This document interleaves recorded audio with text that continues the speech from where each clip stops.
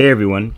So when it comes to pen and ink, drawing and sketching things that are solid black in value can be a little tricky and a little intimidating for many of us. But with a few simple tips and just loosening up a bit, you will realize that sketching values that are solid black or any object or form that's really solid black is not so bad after all. So in this video, I'm going to share a few simple tips that I think are quite useful when it comes to shading things that are just solid black in value. And you'll see that these are things that you can apply to drawing almost any subject. It doesn't necessarily relate to the examples that I'll be sharing with you. Before I get into it, of course, I just want to take a few moments just to thank you guys for supporting my book, A Pen and Ink Drawing a Simple Guide. It really means a lot, the amount of support that I've got. And uh, again, you know, for those who have taken the time to really uh, whether where regardless of where you bought it, whether it was an eBay or Amazon, you know, wherever. Thanks so much for taking the time to leave your comments, leave your reviews or feedback, whatever words that you actually shared with the world about how you felt about the book. I really appreciate and thanks so much. So before we begin, even though it's pen and ink drawing, it's important to point out that it's useful to have something that allows you to fill in broad areas of space pretty easily. So, you know, something like this, like a brush pen is pretty useful. Or you can use a uh, something that allows you to have a broad point and a small point. So something like this, actually I can use the this for the small point and use this for the broad areas. So I can fill in areas pretty quickly and then I can use this for smaller marks and details. And actually I can use this for both actually by pressing down or using the side and then using the point but even though you know the distinction is not that sharp but I can still use it. Like the microns have a marker. This is a size 1 so I can use that for, to filling in broad areas. And then I can just use this one to this is a size uh, 05 I can use this to do the smaller marks. It's useful to have the you know the uh, versatility and you'll see why in a second. Sakura also has their own brush pen as well so you can fill in broad areas and also make smaller lines. I like using the uh, Prismacolor it's a nice balance. For some reason over the years I've tried a lot of them but I kind of end up always uh, going back to this one. Of course the Pentel is beautiful also. It's really perhaps the most brush-like of all of them. Really soft but this can be a little bit challenging to use for most people because it's really soft. It doesn't have the hardness that just traditionally um, uh, you're used to with when you're using a technical drawing pen. But it really gives you the brush-like effect if you're able to not press down the point that much. Now, the first thing to consider when drawing things that are solid black in value is structure. And by this, I mean we look for visual indications of like uh, major plane changes, edges and, and cross contours and so on any kind of visual information that helps you to accentuate the structure, how this thing is three-dimensionally put together. A simple example is like um, like like drawing a box like this. Now, when you look at this, all you're seeing is just a flat shape. See, there's nothing that actually separates the planes, the major planes, or gives us some information about how this thing is uh, structurally put together. But if we just simply do something like this. See, by having those edges left white, what now I'm indicating how this thing is put together structurally. Now, let's say we're going to draw like a, um, a mask.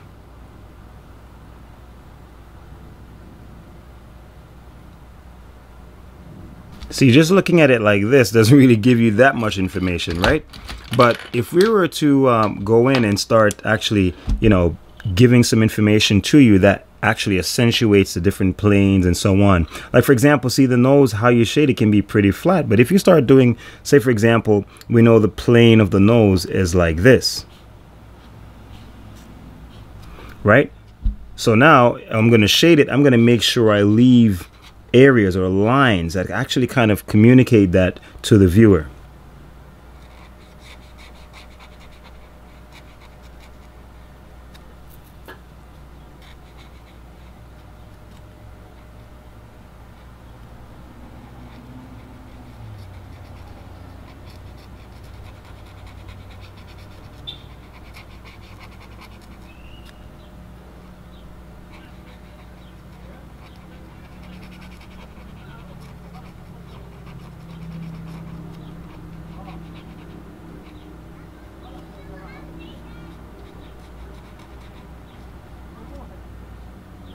What I'm kind of like helping you to see is like you're seeing the plane contour. So you, you're getting the feeling that this is turning like this. See, if I didn't do that, then this would just be a flat shape, pretty much like this. And even this, this little white strip of light is giving you a sense of like, okay, maybe there's this edge is catching light and there's some change in plane like this. And this edge is here. See? So that's what that helps to communicate. Now, another useful thing to look for and think about is overlap where forms overlap kind of like it helps us to distinguish adjacent spaces. Um, it, it, gives us clarity of course and it also can helps to convey a sense of space. So where something is just solid black if there are no overlaps then we won't be able to distinguish what from what. So by actually leaving white spaces where overlaps occur it helps us to just to make the meaning of things first of all and also to start distinguishing how things relate to other things, or well, or parts of forms or different forms relate to each other spatially. A good example um, is like in clothing. You know, like say for example, we had actually something simple like this. Let's just say like this is a skirt. All right, there's something simple like that. So this form, we have three forms here. This overlaps this, and this overlaps this. So just by indicating just slightly, something like this,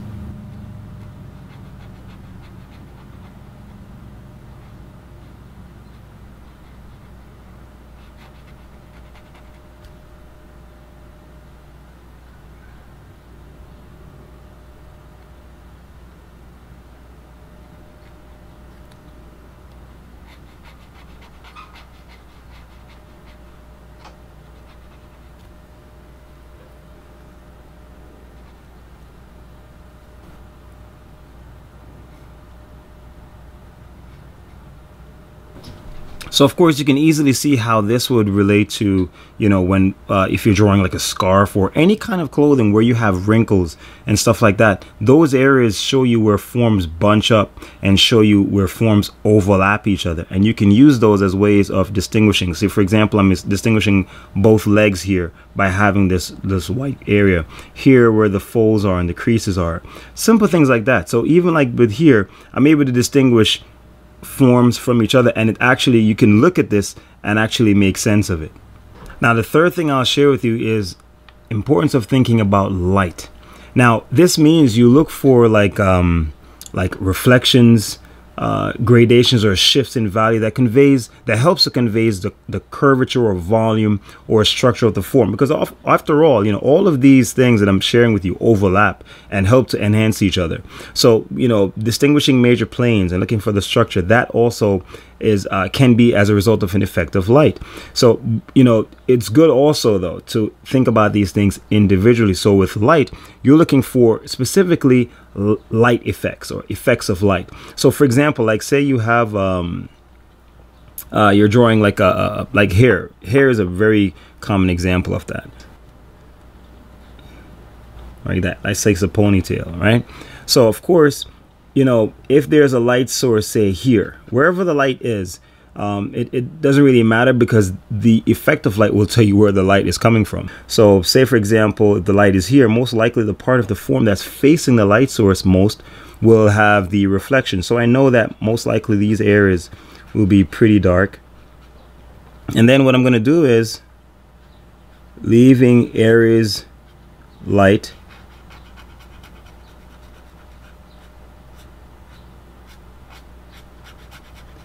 that will help to distinguish where the light is.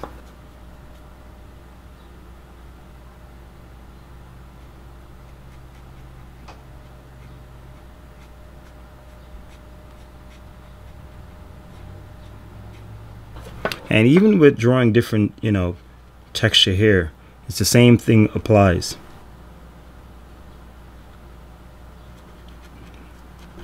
This is where I'll discuss perhaps like a, a bonus tip.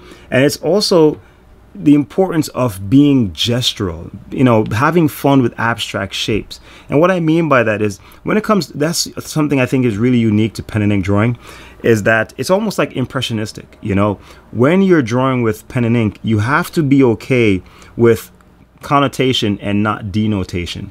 With pen and ink, you don't define everything, you see, but sometimes you just suggest and the suggestion takes care of the rest. So, in other words, you don't literally have to understand or explain every mark that you make, but understand that it is part of a grander scheme that will create meaning. I, I hope you guys understand what I'm saying. You know, with pen and ink, you have to be okay with marks that don't make sense. Be okay with scribbles. You know, be okay with just putting random lines and knowing that it will account for something and people will see meaning in it. See? So, just like this, you see a face, right? And I'm just, if you look at each mark individually, it will look like, what the heck is this guy drawing? But when you look at it collectively, it makes sense. And that's something that's sometimes not as easy to grasp um, for beginners with pen, with drawing with pen and ink is that sometimes you have to be okay with having marks look like scribbles. So you see, shading things at a black and value doesn't have to necessarily be as daunting as we think.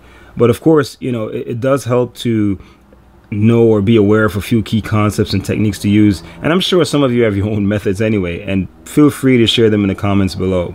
So nonetheless, you know, I hope you found something useful in this video, informative or inspiring in some way. And uh, if you did, please give the video a thumbs up.